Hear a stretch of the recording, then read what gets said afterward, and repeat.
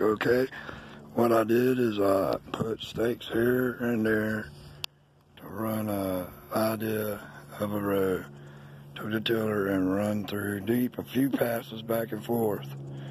And then I took the hoe and made a furrow and I planted these seed taters I got, which are some uh, red red Norland from a bag actually that I bought for dinner and forgot about them in the cover and they sprouted so there's no seed taters.